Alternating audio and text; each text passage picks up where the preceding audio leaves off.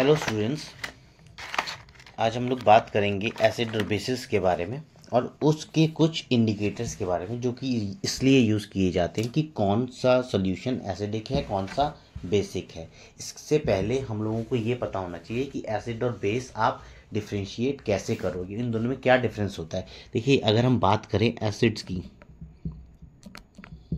तो एसिड्स जब पानी में मिलाए जाते हैं तो हमेशा सिक्रीट करते हैं एच प्लस आयन्स और ये एच प्लस आयन्स जो हैं इंडिपेंडेंटली एग्जिस्ट नहीं करते, कर सकते। तो एच प्लस जब वाटर के साथ मिक्स होते हैं, क्योंकि हमने उन्हें पानी में मिलाया है तो ये प्रोड्यूस करते हैं H three O plus ions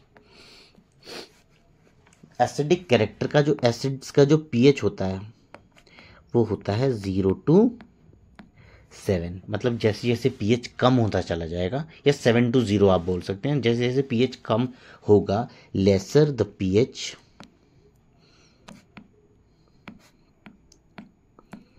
stronger the acid या आप बोल सकते हो कि इसका जो एसिडिक कैरेक्टर है that is inversely proportional to the pH और जितना स्ट्रॉन्ग एसिड उतना ज़्यादा एच प्लस आयंस का कंसंट्रेशन और जितना वीक एसिड उतना कम एच प्लस आयंस का कंसनट्रेशन डाइल्यूटेड एसिड जो होता है, उसके अंदर एच प्लस आयंस वैसे ही कम हो जाते हैं.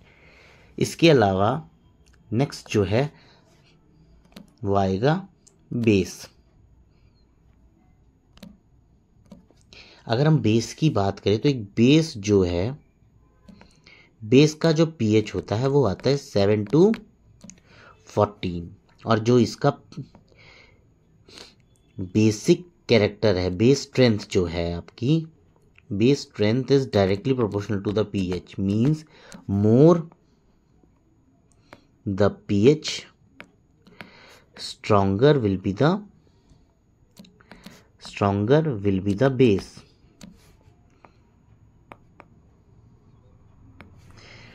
ठीक है? इसके अलावा जो बेसिस होते हैं, जो कि पानी में डिज़ोल्व हो जाते हैं, उनको हम लोग बोलते हैं alkalis alkalis are the bases that are dissolved in water जो पानी में डिजॉल्व हो जाते हैं उनको हम लोग एल्कलीज बोलते हैं। इसको मैं दोबारा लिख देता हूँ। That are dissolve in water तो अब इन सब सॉल्यूशंस के लिए कुछ इंडिकेटर्स हैं जो इस्तेमाल किए जाते हैं डिफ्रेंशिएट करने के लिए। आपने कुछ इंडिकेटर्स का यूज़ लैब में भी किया होगा। उसकी एक टेबल मैंने बताई है, जिससे कि आपको समराइज हो जाएगा कि कौन सा इंडिकेटर क्या चीज़ यूज़ करेगा। ये देखिए। तो बात करते हैं लिटमस की। लिटमस एक सोल्यूशन होता है। रेड कलर शो करेगा एसिडिक में। बेसिकली जो पीए ब्लू पीएच पेपर होता है, वो रेड कलर में चेंज हो जाता है। अभी हम सोल्यूशन की बात कर रहे हैं।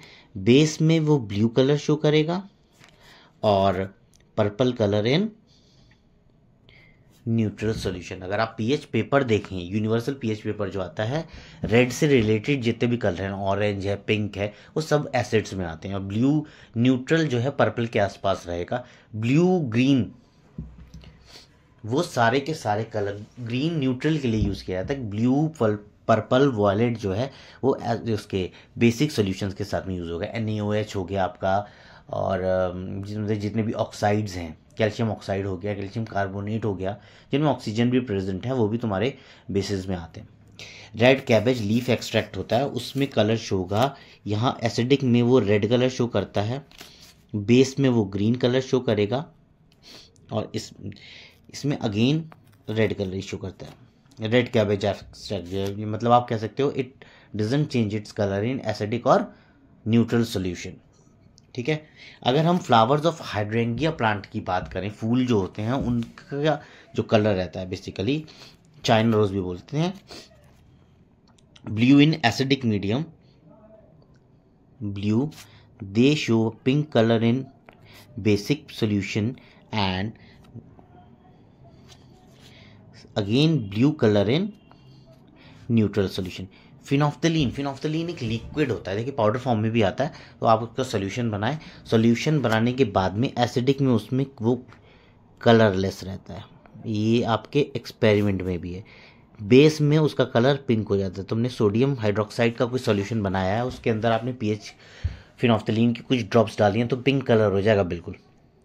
न्यूट्रल सोल्यूशन में भी वो कलरलेस ही रहता है। मतलब उसका कलर वगैरह चेंज नहीं होगा। Neither in acidic nor in neutral solution methyl orange की अगर मैं बात करूँ तो एसिड में उसका कलर रेड रहता है येलो हो जाता है उसका कलर बेस में और ऑरेंज शो करेगा न्यूट्रल में। बीट रूट जूस देखिए ये बीट रूट जूस इसलिए इंपॉर्टेंट है क्योंकि आपकी एक्टिविटी में दे रखा है।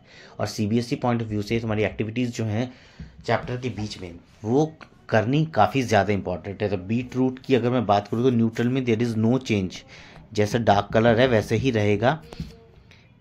एसिडिक में वो थोड़ा हल्का हो जाता है तो गुलाबी कलर शो करेगा और इसके अंदर उसका कलर येलो हो जाता है सेम एज मिथाइल ऑरेंज तो बीट रूट जूस भी येलो कलर शो करेगा। अब ये सारे के सारे कलर इंडिकेटर्स हैं कलर चेंज जो आएगा, उसके हिसाब से आप सोल्यूशन कर पाएँगे। तो इनको यूज़ करने के लिए ज़रूरी क्या है कि आपकी आँखें ठीक होनी चाहिए, ठीक है? तो जितने भी विजुअली इम्पेयर्ड लोग हैं, वो ये इंडिकेटर्स यूज़ नहीं कर सकते क्योंकि उनको जो चेंज इन कलर है, वो ऑब्ज़र्व नहीं कर पाएँगे। तो वो लोग, क्या वो लोग एसिड और बेस को डिफ्रेंशिएट नहीं कर सकते? बिल्कुल कर सकते हैं। और फैक्ट्री इंडिकेटर्स जो हैं, वो स्मेल का ही यूज़ करते हैं। कुछ ऑल फैक्ट्री इंडिकेटर्स हैं, उनको बोलते हैं हम लोग ऑल फैक्ट्री इंडिकेटर्स जो कि जिनकी स्मेल जो है पर्टिकुलर एसिड या बेस में चेंज होती है। सबसे पहले आता है आपका अनियन प्याज। अनियन जो है onion have a characteristic smell in acidic medium इनमें एक स्मेल आती है। Have smell in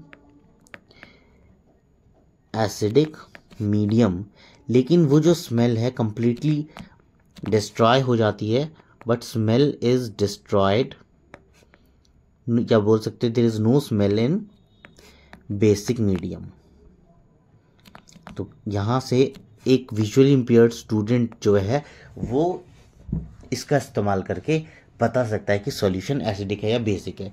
दूसरा है आपका vanilla essence vanilla vanilla essence की अगर मैं बात करूँ तो इसकी जो स्मेल है रिटेन इट स्मेल बिल्कुल एज इट इज़ रहती है। Smell in acidic medium but loses its in basic medium loses its smell in basic medium, okay? तीसरा है क्लोव, लॉन्ग जो होती है, उसकी भी जो स्मेल है, वो चेंज होती है, एसिडिक और बेसिक मीडियम में। तो ये इंडिकेटर्स हैं जिनका इस्तेमाल विजुअली इम्पेयर्ड स्टूडेंट्स कर सकते हैं यूज़ करने के लिए। इसके अलावा एक कलर्ड इंडिकेटर जो आपकी किचन में बहुत पाया जाता है, टर्मरिक, हल्दी। हल्दी जो है, वो